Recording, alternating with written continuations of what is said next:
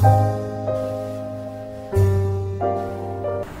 everybody, welcome to my channel. This is Shiva Ravindra.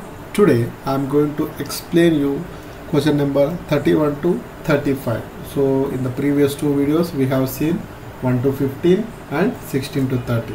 So today's session I am going to explain you 31 to 35 questions. So the questions are the first question is how do you prepare analysis data sets? It is ADAM data sets and question number 32 is oncology overview, overview of one of my study and 33 is how do you handle the unscheduled visits in ADAM and 34th question is what is the pinnacle 21 what is the use of that one how to use that one and what we need to check in the pinnacle 21 and 35 is SDTM trial domain okay so whoever wants to join as a prime member. So this is the you know my youtube channel. So you can click on below mentioned uh, link in the description. So that, you can you know pay one and you can join and get an exclusive uh, videos of this interview as well as you know SAS clinical knowledge related topics and whoever wants interested to learn the you know programming like you know SDTM ADAM and TLF of real-time projects from the scratch coding you can watch this video in my site. And the complete detail you can find in this video as well as I'm going to mention all the details contact number etc things also in the description. Okay? So all the links are mentioned below description. If you want to you know if you are interested you can uh, learn. So the first question is how do you prepare analysis dataset? So analysis dataset what is the meaning of analysis dataset and adam dataset? So which are datasets are useful for analysis purpose? Those datasets we can call it as analysis datasets. And that are analysis datasets are prepared by using adam standards like you know cd standards. Those datasets we can call that as adam datasets okay? So all the analysis datasets are not going following adam rules so some are you know internal review purpose they will create their own standards so that are not going to submit to any regulatory authorities. Which are you know going to submit regulatory authorities that should be follow the adam standards okay? So what is that one? So here first as a SAS programmer how do you start the adam dataset programming? First of all the SAP document provided by the statistician. Here the statistical analysis plan. The second thing is the mock shells. So the mock shell here all these things they mentioned and there are all tables they here the project don't have any figure. So if the projects are there figures are there so they will provide the figures mock shell. Otherwise some client they will provide you all tables listings figures everything in one mock shell. So based upon the mock shell and statistical analysis plan as well as adam implementation guide rules and regulation we are going to create first adam specification file. Okay?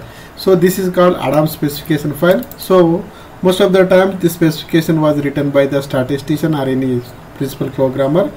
If you have a chance so the senior programmer or junior programmers also get a chance to write the sap so first we need to write the all this specification file based upon the implementation rule. So here this is the 1.1 version we are using. So previously we are we used version 1.0 so just open the 1.1 version and which data set if you want to create go to the data set and you can copy all the variables and you know we just follow the all the variables. For example if you are going to create AD AE dataset or ADSL dataset so here they mentioned all the rules and regulation related to that particular dataset. So here um, as per this one so we just you know copy the variables if want so we can create the specification file. Here you can see ADSL dataset what are the variables we have to mention etc things they mentioned here.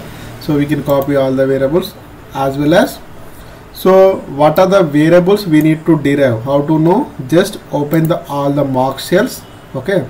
So for example if all the listings okay? So we have to see each and every variable. Which variable has fitted for which variable? So we have a data from the SDTM. So we just copied all the SDTM data set and we can check all the SDTM data sets are, you know, all the variables are present in the SDTM data or not. If not present, for example, this variable result variable is not present for example. So what we need to do? Just go and check with the SDTM dataset if not so we can you know derive based upon the SAP as well as you know statistical analysis plan mentioned the rules and regulation. So here the table. For example these are the table. First we need to annotate all the variables. So and check whether all the variables are present in our data or not. If not we can derive that one. Okay? So for example here uh, for example treatment emergent AE is there. Okay? So treatment emergent AE is there. So this treatment related emergent AE adverse event related information if the SDTM dataset you know uh, not having this data. So what we need to do just first we need to go and check with the SAP document. So whether they mentioned any treatment related emergent AE definition or not. So treatment emergent okay so here they mentioned some definition treatment emergent AE and non-treatment AE prior to the administration of study medication. Of those occurred prior to the study drug and did not worsen in the frequency or severity will be listed. So this definition they will mention in the SAP so go and check with the spec. If you are not created so already provided uh, spec. So you need to check whether the information was placed properly or not so here you can see the treatment emergent AE so here this is the programming node. So the programming node they will mention ASTDT greater than treatment start date and plus 30 etc they will give the definition. So if not if you are a programmer to prepare the specification file so you can check the SAP document and create this specification file so most of the variables we can copy from the SDTM dataset and what are the variables required for the tables listings figure we need to add and we need to check whether that variables are comply with the ADAM standards or not. Okay. So these are the documents. So implementation guide and the mock shells and the statistical analysis plan as well as ADAM specification file. These are the important document to start and finish up your ADAM datasets. Okay so this is in this way you have to explain to your interview people so that they will know uh, so okay you, you have a, so only experienced candidates only they know this information. So some experienced candidates are also unable to uh, you know explain this way. So they done the adam dataset but they don't know how to explain to the interview. So in this way you have to explain to your interview. So this is the process generally the SAS programmers follow to create the analysis data set okay? So the second question is question number 32 is so oncology overview. So before that i'll you know finish up this question number 33 so how do you handle the unscheduled visits in adam datasets okay?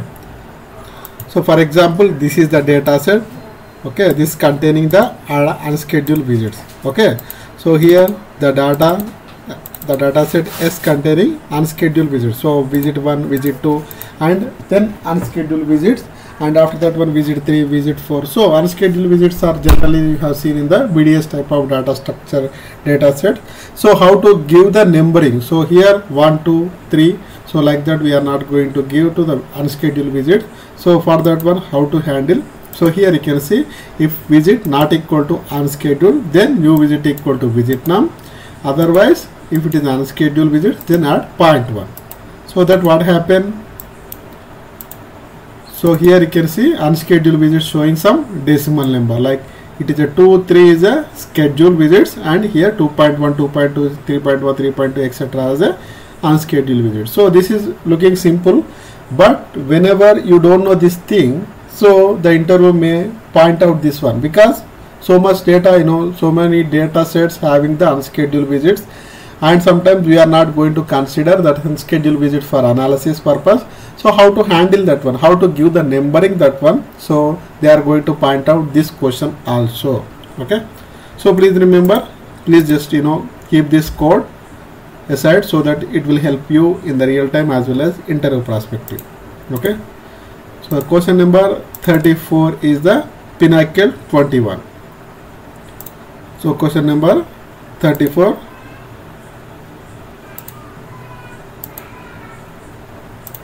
So question number question number 34 is a what is the pinnacle 21 so nowadays nobody will you know use the proc compare method for sdtm analysis data verification as well as qcing the and validating the data set everybody using the pinnacle 21 so this is nothing but a tool. So that will you know built by all the rules and regulations provided by the cd standard. So whenever you created some XPT files for your data set, SDTM data set along with the XPT files also we created. So XPT files we can browse into this Pinnacle 21 tool and run it. So that you know they will cross check everything all the conditions what they mentioned in the Pinnacle 21 tool. They will validate everything was you know right or not. So they will provide one excel sheet with the report how many errors how many warnings how many rejections etc there in the data. So that we can easily update your uh, programs. Okay so whenever here you can see. So this is the pinnacle 21 tool so this is what looking pinnacle 21 community. So that here the sdtm and here export xpt files export file we can browse. And sdtm 3.2 version which version sdtm we are using we can select and which report format you want. Okay? So just drag and click that button so that you know the report will come here. So the report is looking like this.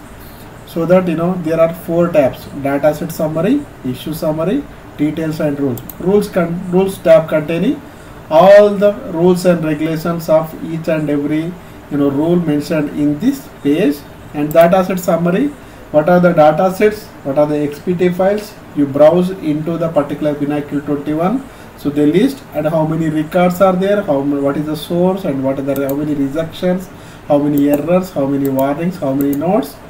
The containing all the data set they will give you a detailed report in the data set summary.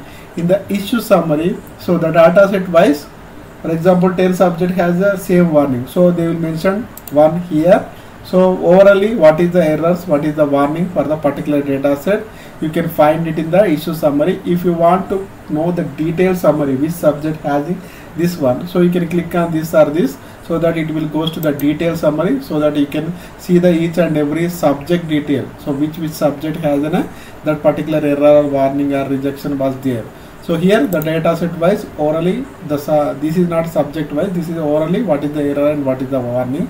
So here individual each and every subject how many subjects having that warning or error etc will find it in the detailed summary. So that will cross check with the dataset to dataset also as well as uh, any you know uh, the inbuilt uh, conditions like whether RFST greater than RF whether the subject information is not you know getting populated whether required variables and expected variable information is so many types of you know variable for example here you can see variable length is too long for the actual data. So as per the data set, as per the series rule, so there are 200 length, but here there is a more than a length as well as here you can see.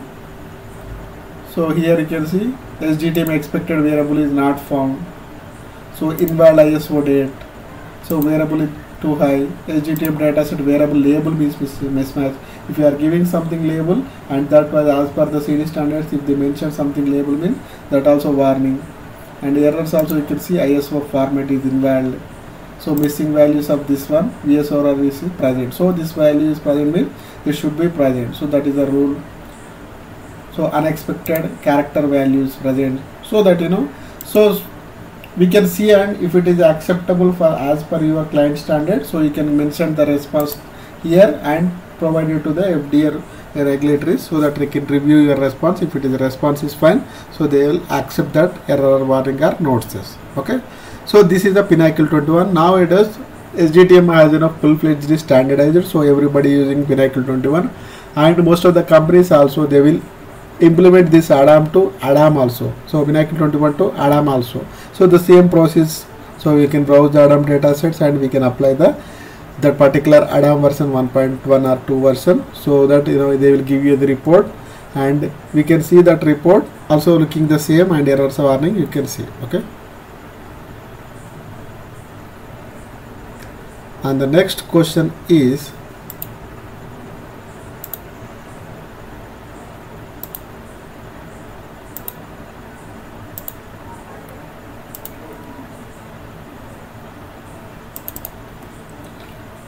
trial domains. So trial domains are nothing but so before starting any project, before starting any project, so before starting any project, we have to create the trial domain. So how to create the trial domain?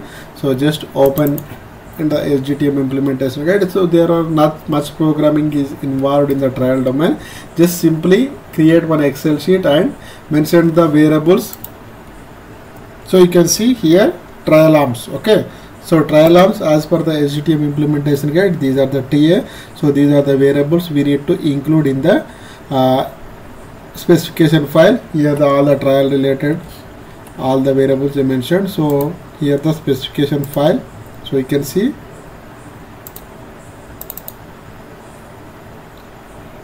so here TA so nothing but just open your protocol and you know I protocol and get this information all this information. What is the study id what is the domain what is the arms are using what is the arm related the complete description what is the order what is the element etc things we can mention and we can import this excel sheet to create your data set okay? So here trial elements. So these are the element information. So ti inclusion exclusion criteria. You can find all the inclusion exclusion criteria in a protocol and ts trial summary related thing. Okay? So these are the variables standard variables you can find it in the sdtm implementation guide. And all this information we just take it from the protocol trial visit how many visits are there. So before starting your sdtm domains so best you can create the trial domain. So these trial domains are not useful for any analysis purpose but but just review purpose okay so whenever you are doing any other data set of sdtm you can cross comparing with your information is appropriate or not with the trial domain. As well as client also looking the trial domains. So far you are getting the overall idea about the project. So here once you created this excel sheet just simply import and you know created this trial domain. So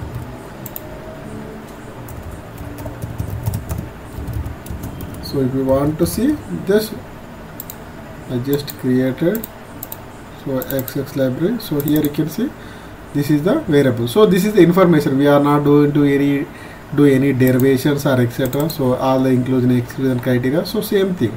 So what the information is provided provided protocol. So thus just so these are the trial visits how many visits are there etc things okay so just mention that information into the specification file and after that one just import this. By using proc import procedure you can import and create the data set okay? So whenever any interview people asking you you have exposure to the trial domains please say yes.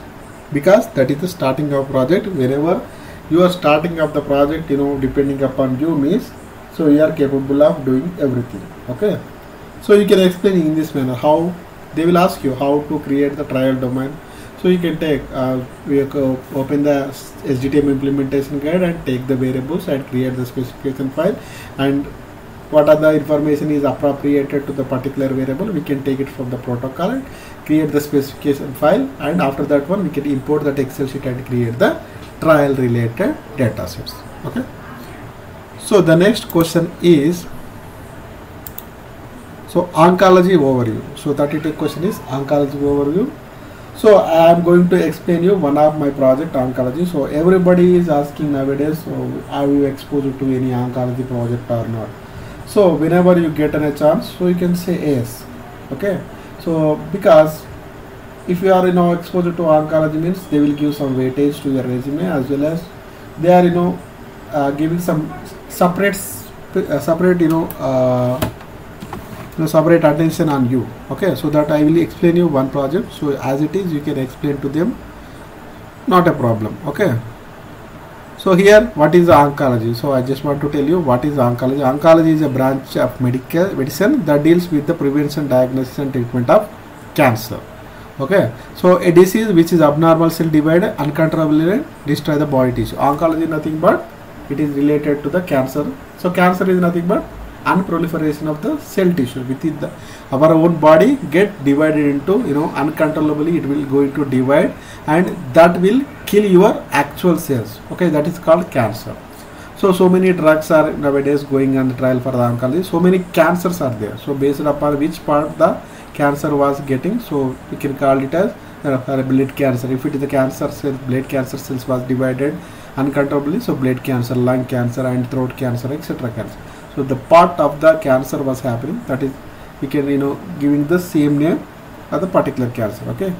So nowadays so many drugs are going on a trial. So one of my study it is a phase 2 open label multi-center study of the single agent patients with elapsed T cell cutinoma means WBC RBC cells as well as T cell T cells nothing but WBC cells so if the cell the T cells are growing uncontrollably means that is T cell lymphoma okay so here so you have to know some terms of the oncology trial. So overall survival census progression free survival census time to progression time to treatment failure object response rate. So overall survival means survival means it is going to uh, subject is going to live. So how much time? From the randomization to until the death of any cause where the subject is participated in the study. So he is randomized means the subject is uh, that planned treatment was allotted to him. So how many days? For example today the subject was randomized and after 10 days the subject is dead so how much time it required from the randomization to the subject death? That time is called a overall survival. Okay? Progression free survival. Progression is nothing but increasing the disease. Okay? So the time how much time it is from the the subject randomization to the disease progression? For example the cancer patch size is 10 mm size. So if it is a 12 mm okay? So after 10 days it is a 12 mm so the disease was progression. How much time it required from the randomization to that progression or death? So here either death either the disease progression. So that is progression free survival. So time to progression nothing but from the randomization to tumor progression only. It is not including the death. Here we are including the death. Here we are not including the death so time to treatment failures. Nothing but randomization to the subject from discontinuation or you know disease progression or treatment toxicity or death. Any one of these cause happening. So how much time is required from the randomization to this four thing? We can call it as time to treatment failure.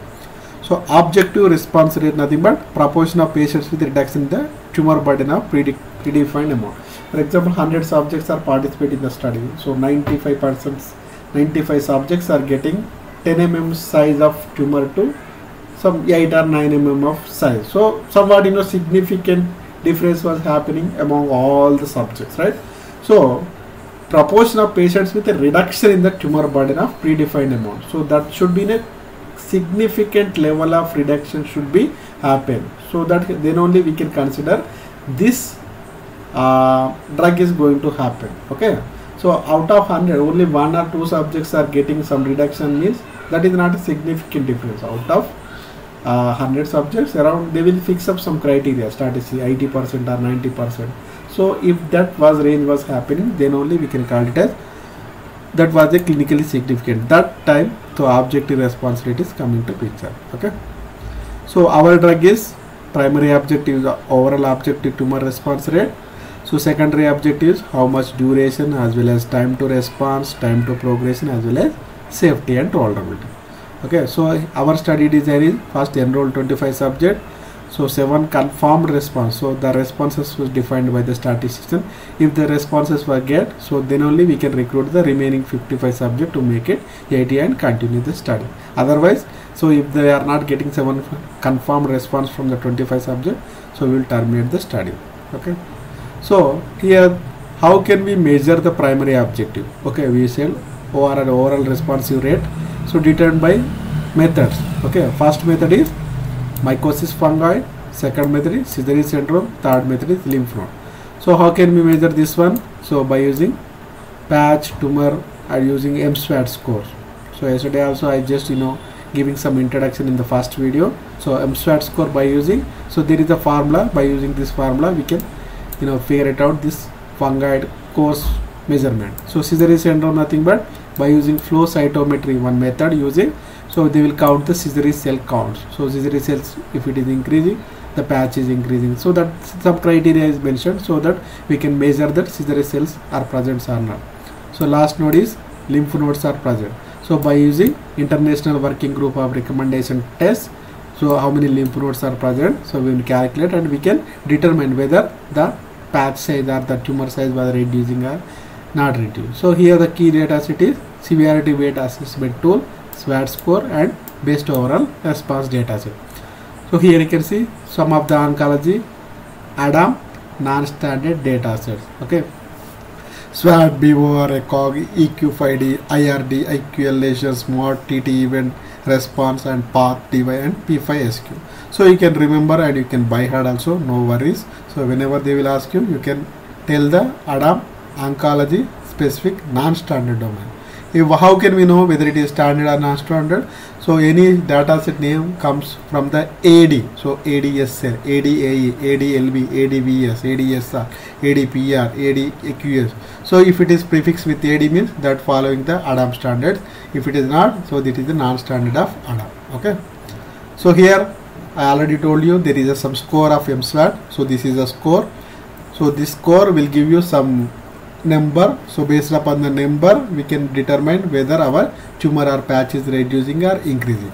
So based upon the results so we can decide whether it is a complete response means completely cured the res, uh, patch or partially response or instead of decreasing if it is increasing progression progressive disease or neither increasing nor decreasing. So the stable okay. So there is a criteria. So if it is disperse of completely it was disappear means complete response. So at least 30 percent is decreasing the tumor size means partial response. So if it is a 20 percent increment instead of decrease 20 percent increase means progressive disease. So neither decrease nor increasing means stable disease. Okay. Here you can see based upon the score. So AVALC was just, uh, given by CR means complete response partial response stable disease progressive disease and not applicable. So parameter is tumor response. So AVAL values we can give the 1 2 3 and AVALC values CR PR means completely or partially response. Okay? So here the second method is evaluation of Sézary syndrome so we are going to measure the Sézary cell counts by using flow cytometry method. So if it is increasing or decreasing based upon that we can figure it out whether the cancer tumor cell was increasing or decreasing. So we get the values. The based upon the values we can produce the table and submit to the statistician. Statistician will decide. Okay? So here also this is completely response means all the Sézary cells count less than 5%. Partial response means at least 50% reduction. Progressive dis disease means increment of cell count by 40%. Stable disease means not met. Clear CR, PR or PD. The last method is lymph node. So lymph nodes, how can they count? So CT scan, MRI scan, etc. method they will count. So finally the response rate is how for example 100 subjects is there 100 subjects. So how many subjects getting complete response partial response? So 90 subjects getting complete or partial 90 divided by 100 into 100 will get the overall objective response rate. If it is a significant value so we can tell that this drug is clinically significant of reducing that particular cancer tumor. Okay? So this is what my study up so you can refer your friends and colleagues etc uh, friends also to subscribe my channel and to join my channel as a premier member to get exclusive videos. And whoever wants to interested to learn the real-time project from the scratch SDTM ADAM and TLF you can join you can watch this video in my channel and you can get all the information into that video. And all the links were mentioned in the below description. Thanks everybody. Bye